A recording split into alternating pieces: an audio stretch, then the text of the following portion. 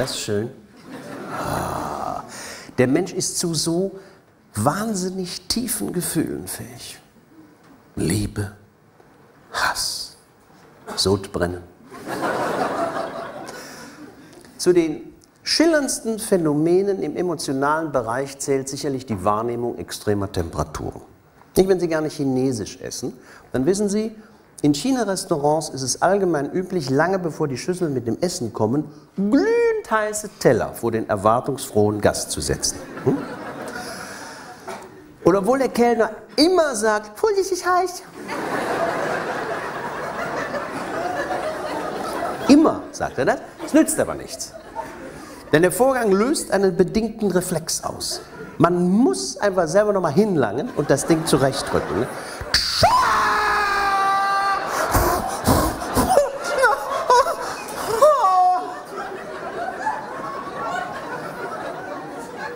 Wenn das Essen kommt, ist der Teller längst kalt. Aber die Brandblasen erinnern uns noch wochenlang an den schönen Abend. Ne? Ganz toll ist natürlich extrem hohe Hitze im Mund. dabei sind besonders tückisch Speisen, bei denen eine Teighülle einen fast flüssigen heißen Kern umschließt. Denken Sie in der Pizzeria an diese Calzone, diese Klapppizza oder auch gebackener Camembert, kann schön sein. Oder bei McDonald's die heiße Kirschtasche. Das Schlimme ist nämlich, diese äußere Hülle kühlt relativ rasch ab und täuscht so unsere prüfenden Lippen.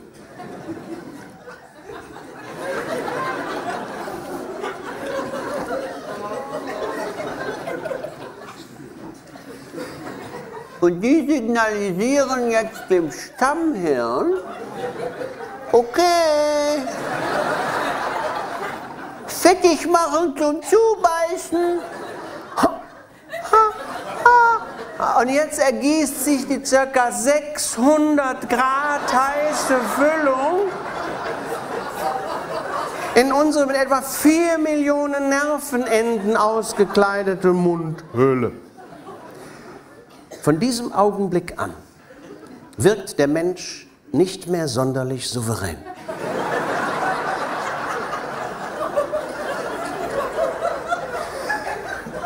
Denn statt dass wir einfach dem Filialleiter die Kacke aufs Hemd spucken.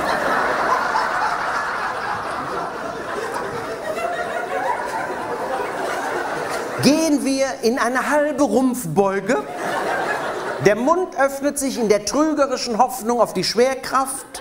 Die Arme machen eine Mischung aus Joe Cocker und Herbert von Karajan. Der Rachenraum produziert den Soundtrack zu Exorzist 11.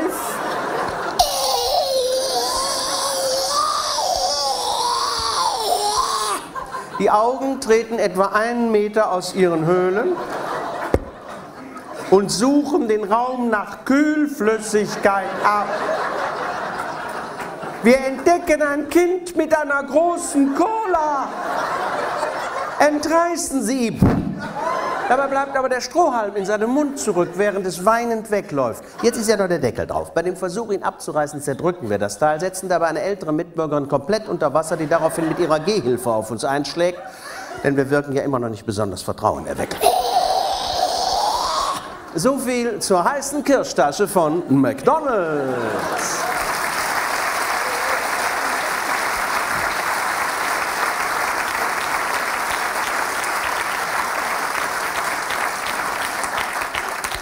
Lassen Sie mich noch rasch eine, ein ganz kleines Urlaubserlebnis anfügen von meinem allerersten Frankreich-Urlaub. Ich sprach damals kein Wort Französisch. Nahm nach einer langen Fahrt in der Nähe von Lyon ein Zimmer in einem kleinen, sehr alten Hotel. Ich stehe in der kleinen, sehr alten Duschkabine. Blicke wohlgefällig in meinem Körper herunter.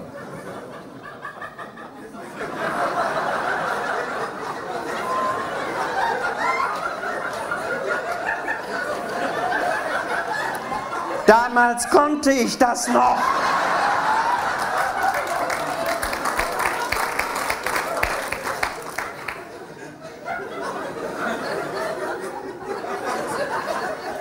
Und es gab keine Handbrause. Nur eine fest installierte Überkopfdusche und zwei Hähne. Auf dem einen stand F auf dem anderen C. Gut, heute weiß ich, wissen wir alle, ne? F, froid, kalt, C, chaud, warm. Damals dachte ich,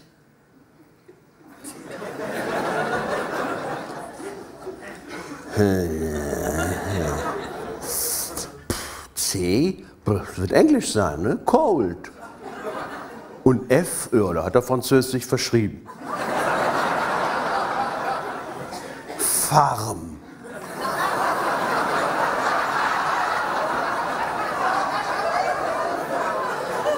Ich drehe also Farm auf und stehe in einem Schwall eiskalter brauner Brühe, sehr oft aus alten Rohrleitungssystemen, die lange nicht benutzt worden sind, kommt. Eiskalte braune Brühe und auf der Stelle zog sich Louis XIV, mein Sonnenkönig, gekränkt in sein Jagdschlösschen zurück.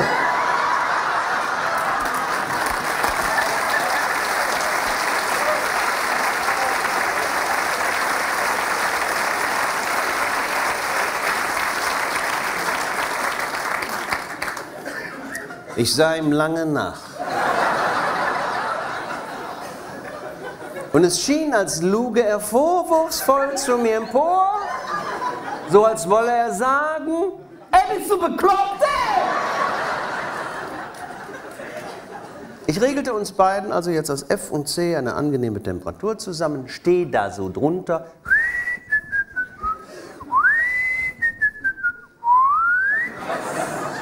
Plötzlich höre ich irgendwo von nebenan das Geräusch einer Klospülung.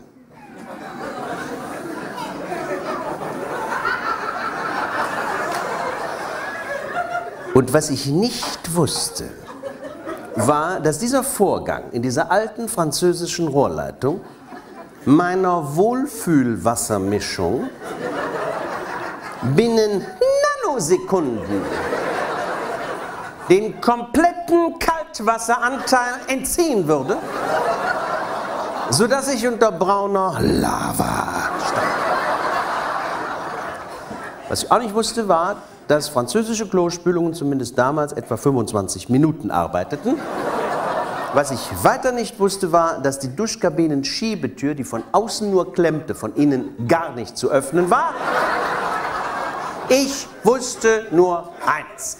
Ich wusste nur, du hast nur eine Hand, um diese beiden Hähne zu schließen. Denn mit der anderen Hand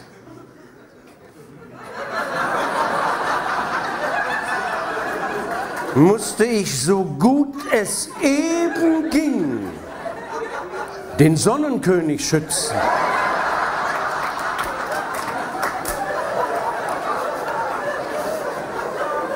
Denn das wusste ich, wenn ich ihn verbrühen würde, dann hätte ich ein Problem. Denn ich würde in diesem fremden Land, dessen Sprache ich nicht beherrschte, niemanden zum Pusten überreden können.